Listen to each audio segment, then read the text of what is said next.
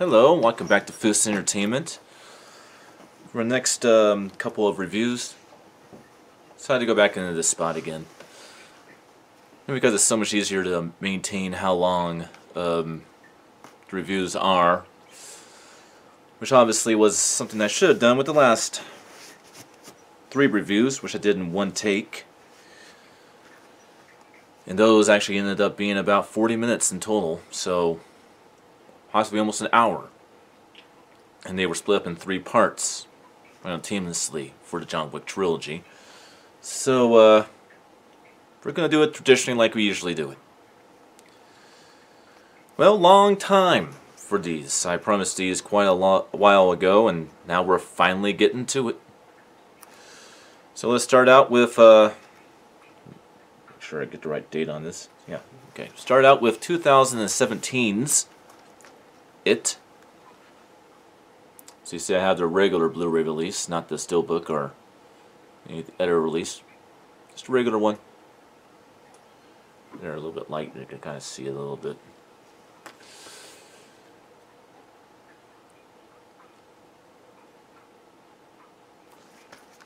Alright, so it.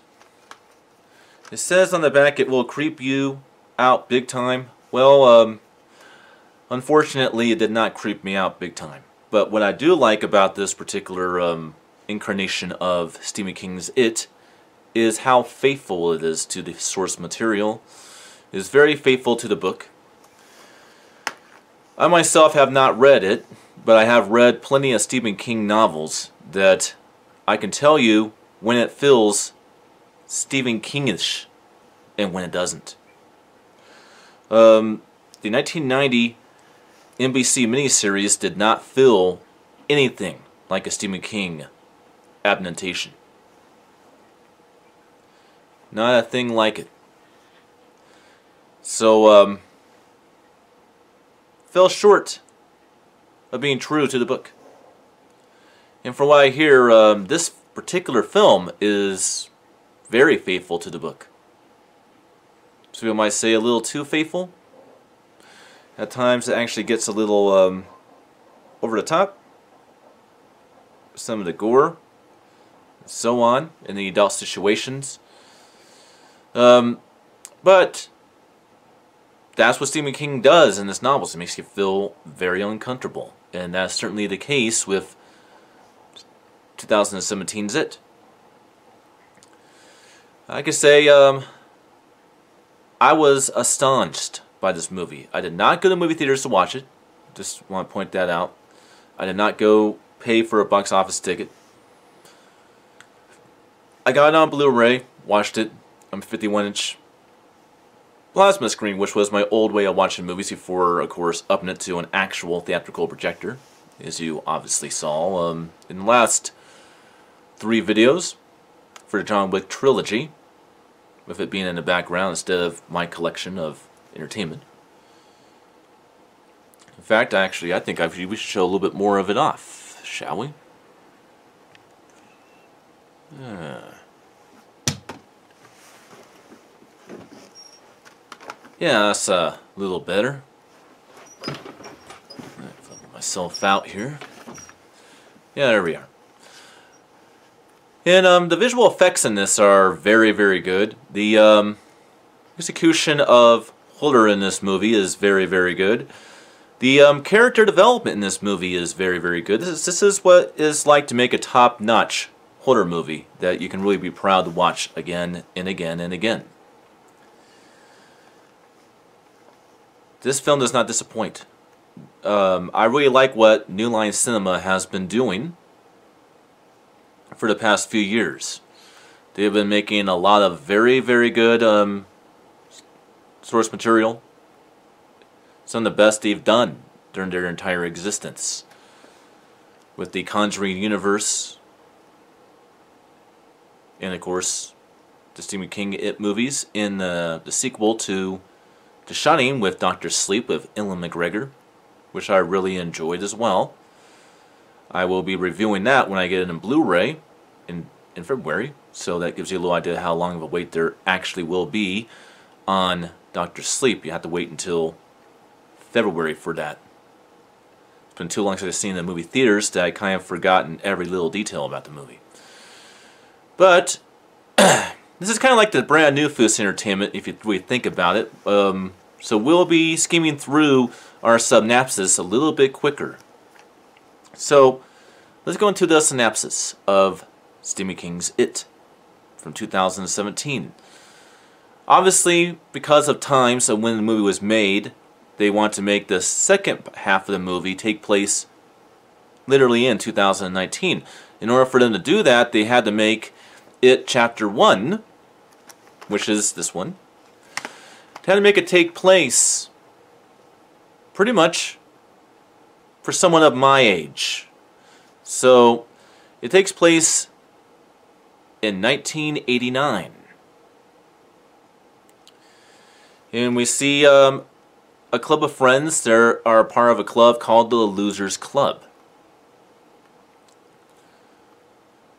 And they, of course, befriend um, other people, a, a new kid who has just come to town by the name of Ben.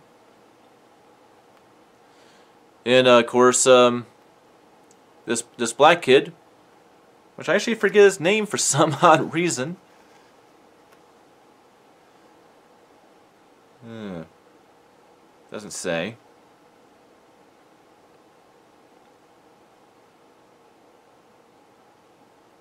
I think it might be Danny, maybe, but I'm pretty sure that's not right. But um, the uh, befriend this black kid as well. And of course, there's these bullies um, that are, that are um, ran by this very scary teenager by the name of Henry, who uh, torments these um, teenagers, these young young children. And of course, I also befriend a um, teenage girl by name of Beverly.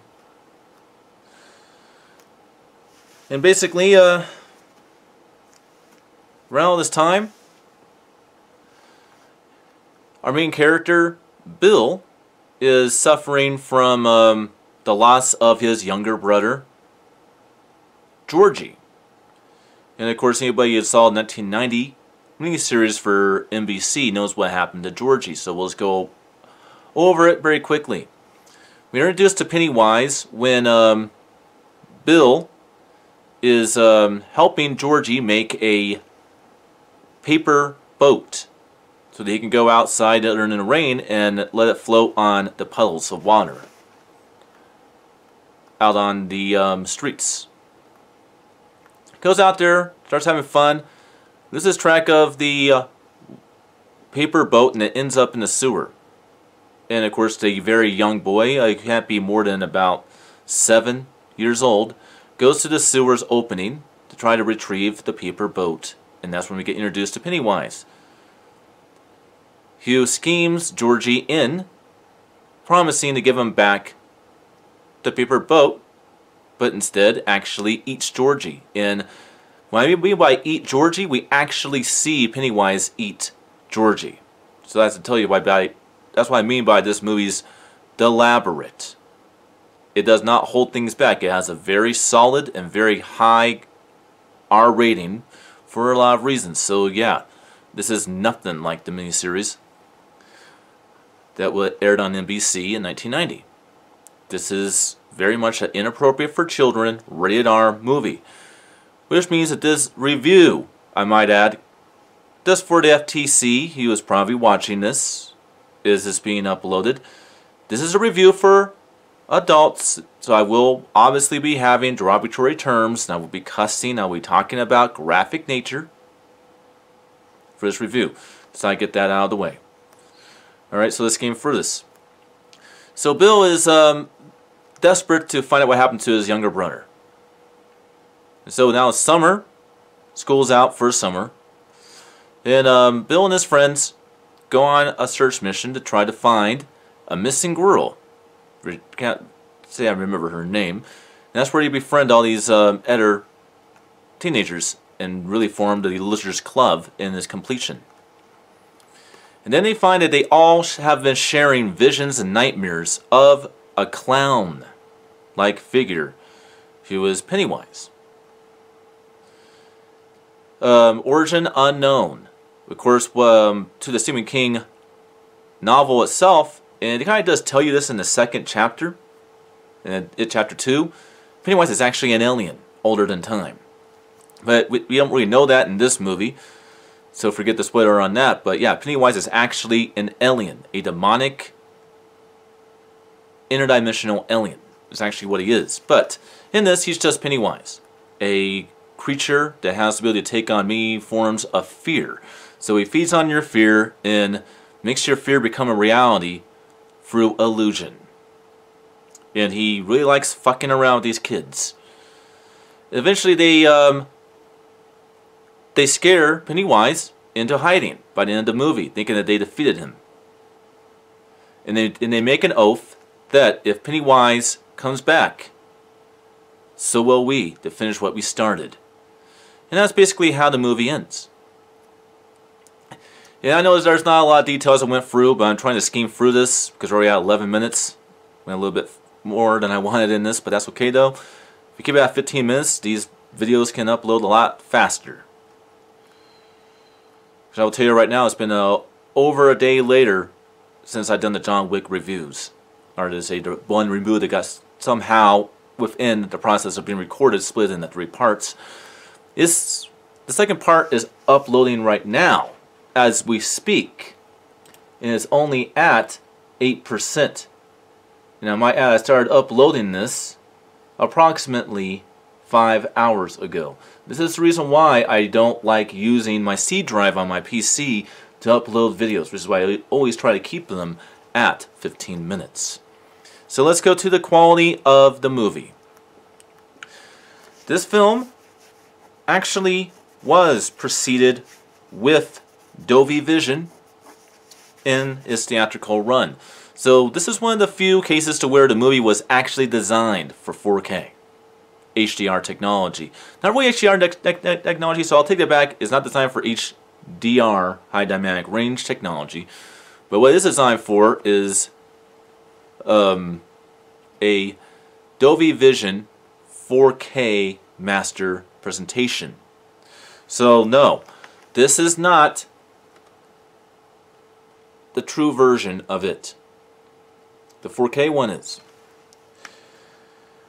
But even the 4K Blu-ray isn't, because um, Stephen King's It Chapter 1 was preceded in Dolby Vision, with Dolby Atmos combined with it. But it has very good neutral colors. Um, this one does have a bit more of a 1980s nostalgic look to the movie, unlike the second movie, which has a much more modern, basic HD um, transfer to today's standards. But this one actually has a nostalgic 1980s feel because it takes place in 1989. You can definitely tell that watching the movie. It is in 240 by 1 wide, so it is the CinemaScope. So um, that's how we say about the um, video. So let's go into the um, audio. This Dolby Atmos track is very enormously exciting and extreme on the heaviness of audio.